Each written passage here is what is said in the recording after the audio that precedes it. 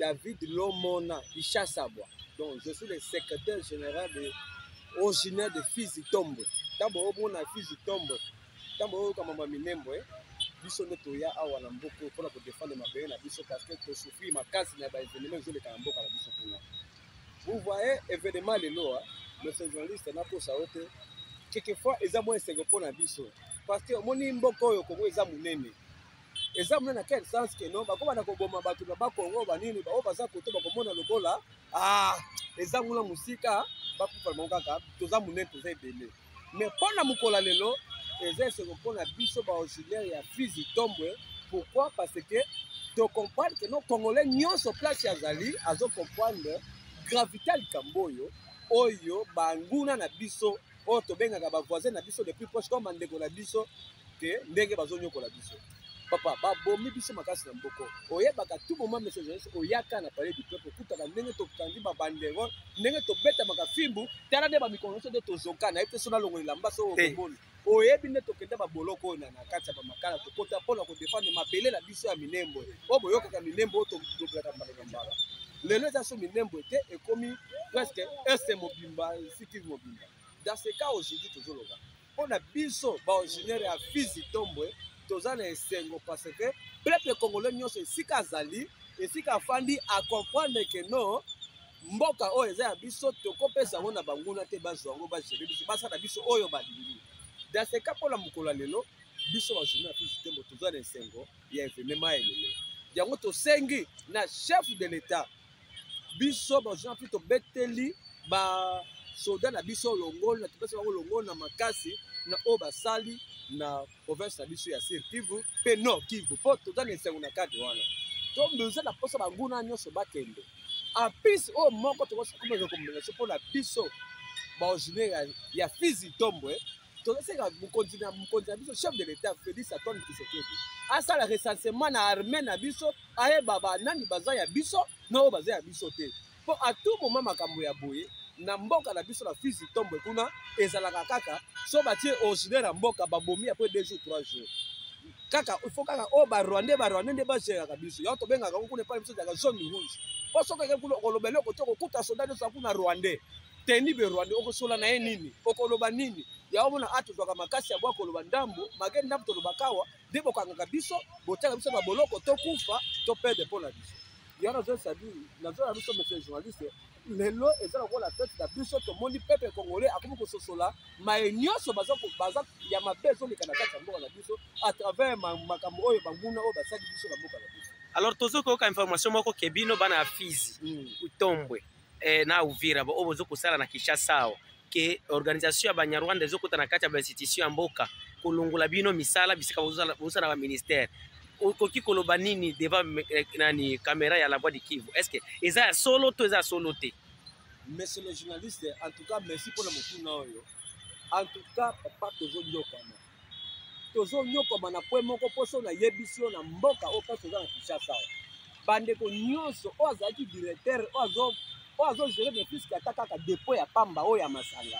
bazolongola ye mpo aza kaka bobembe barwanda esi babebisi mboko toyebi te balobaka chef de leta moto ayebisa bango ke mboko eza ya bango biso toza ba biso tomi ba rwandais ba rwandais ba congolais tozo mona pasi makasi na mboko na kosa yo te soki oyoki ka mutu aza originaire ya prise yebaka so okuta na yeba aza na misala te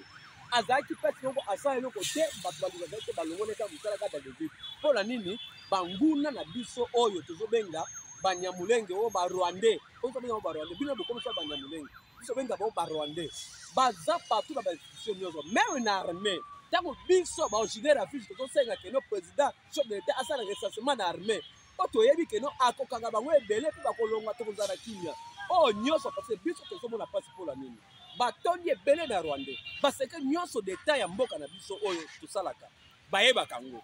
baza na kati wana na conseil do bazwa population nyonso yango biso tosengaka à tout moment na gouvernement na biso quelque soit akipaka biso te bango nde batondi quelque fois emo akanga matoi ayoka bango akoyoka parti moko te ayoka mpe parti mosusu biso toza bakongole papa toza na national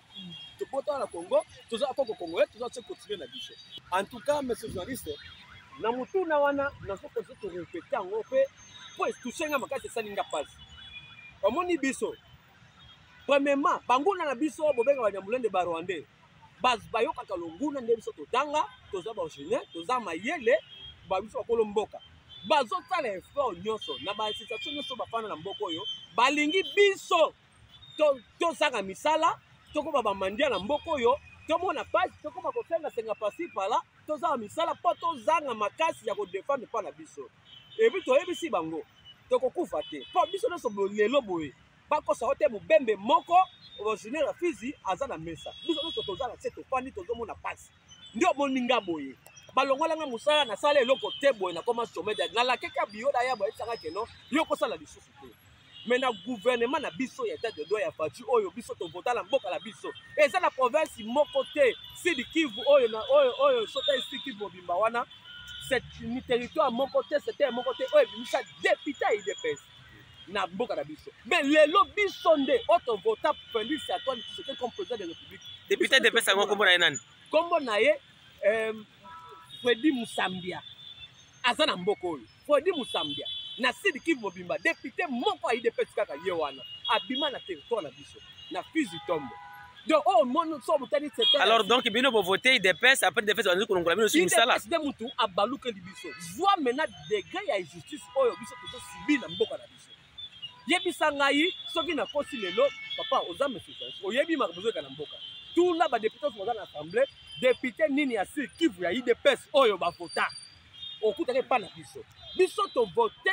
félix antoine tshisekedi comme président de république mpo asisa bitumba na mboka na biso na fils itombo mais voilà et aujourd'hui conséquence biso tozofuta ata mobembi moko te aza na mosala ya papa ata oza na privé papa bato bakolandela yo bazoba nini yo bato ya idps baolonga biso biso tosala idps nini tokosala idps nini parce wana eza parti na biso ya pouvoir biso toponi mpo tomema yango na nzela mpo edefendre mboka na biso pourkoi lelo tokobanda kosibir injustice ya boye babalukeli bino lelo balukeli biso me toosenga kaka na mokonzi antoine felix tshisekedi papa atalela bino makambo awa talela biso makambo oyo tozomona mpasi na mboka na biso barwandais bazoboma biso koboma surtout na discours ya liboso osala kobiba nyamulelo bandeko na biso na mboka na biso tokufa 26 personne mokolo wana batie mwasi mama na bana babomi babe eza feti boyebake mboka ekomi ya biso tomona pasi ti lelo tozosenga kaka na mokonzi ya mboka antoine mpe kisekedi keno ateya sitone na situation ya mboka na biso biso tomi bachomere ata mobembe moko te na mboka oyo aza na mosala balongoli so mosala pasi pala partout ono tata de souffrir na point moko keno motu moko imagine te bazobenga tona bandako toza boye toya bachomere mais na fisika mpo na mabele na biso asunga biso eh, atikela biso asunga biso bandeko wana oyo oyo bazomibenga bio president abenga biso bandeko na biso wana bazala biso baza ata pembeni na batika biso mboka na biso wana eza mboka biso eza ya bango te anile complètement komi na minembwe oyo asuspenda anile yango esila na mboko mpo tokoma na kini nde yango tozosenga na moto ya mboka merci mingi merci beaucoup ngai komona ngai david lumona secrétaire général ya jo ya mitualité ya babembe ya kunta bebe na ville ya kinshasa ah, merci merci